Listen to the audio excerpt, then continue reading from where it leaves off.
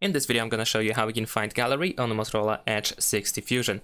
So on this phone there is no app that is actually called gallery. However there is other gallery-like app available on this phone. It is pre-installed and easy to find and that is the Photos app made by Google. So if you open it, as you can see it looks pretty much like a typical gallery app that you can find on other devices. It uses the Google account, so if you also create a backup of your photos or videos, then you will keep them and you should be able to use them on this phone. As you can see, we have photos, we have videos, we have everything just like in a typical gallery. We can also go to collections in order to find um, different categories and so on and so forth. So this is the alternative, I guess we can call it an alternative.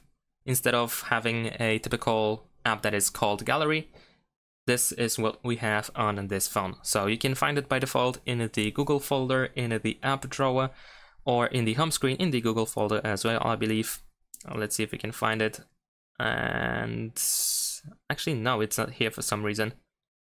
Or at least I'm blind. Oh, there it is. My bad. So it's not in the Google folder, it is actually over here. So that's pretty much it. This is what we use on Motorola Edge 60 Fusion instead of an app that is specifically called Gallery.